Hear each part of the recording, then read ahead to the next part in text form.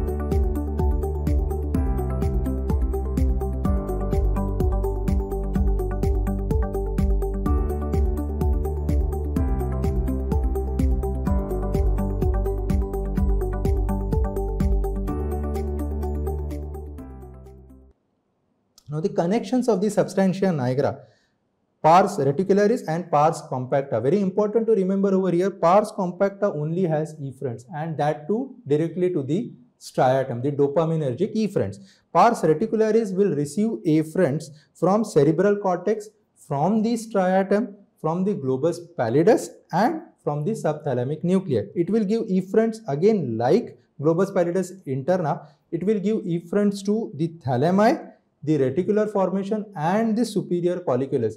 An important point over here to remember that pars reticularis is actually a functional counterpart of globus pallidus interna, though it is actually structurally located somewhere else in the midbrain, actually it is a functional counterpart of globus pallidus interna. So it will have all the projections just like globus pallidus interna. Now the connections of the subthalamic nucleus. It will receive afferents directly from the cortex, from the thalamus, from the pallidum, mainly the globus pallidus externa and also from the brainstem. And it will give efferents to the globus pallidus interna. So these are called as the subthalamopallidal fibers. These, as I told you earlier, are the only excitatory glutaminergic intrinsic connections of the basal ganglia. It will also give efferents to substantia nigra, the striatum, the PPN and the ventral tegmentum. So as we can see in this diagram, there are three main parts of subthalamic nuclei.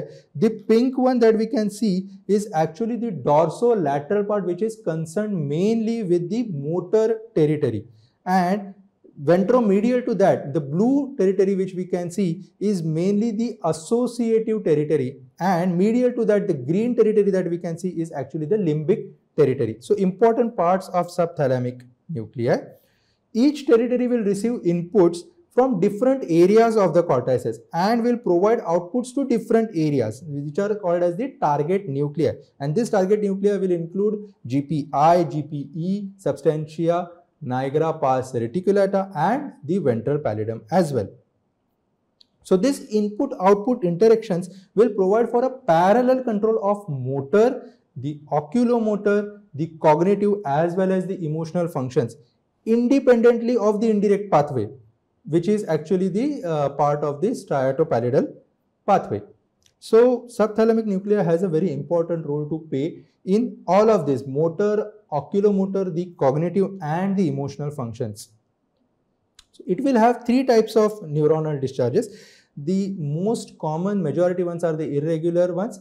Then is the tonic which is almost around 24% and the oscillatory is around 15%. So these neurons responding to the movement were actually the irregular or the tonic type and these were found into the dorsolateral region of the subthalamic nuclei. So if this uh, was the motor part then the oscillatory and the low frequency activity which was found in the other parts were actually not responding to the movement and which were found into the ventral part of the subthalamic nuclei which were mainly associated with association. And dorsolateral subthalamic nucleus is as I told you the motor area is the region which is of most interest in Parkinson's disease because this is related to development of the main cardinal features of Parkinson's disease. Hence, this nucleus, the dorsolateral part of the subthalamic nucleus is the surgical target for Parkinson's disease and lesioning of the abnormal activity in this dorsolateral part of the subthalamic nucleus while sparing the ventromedial part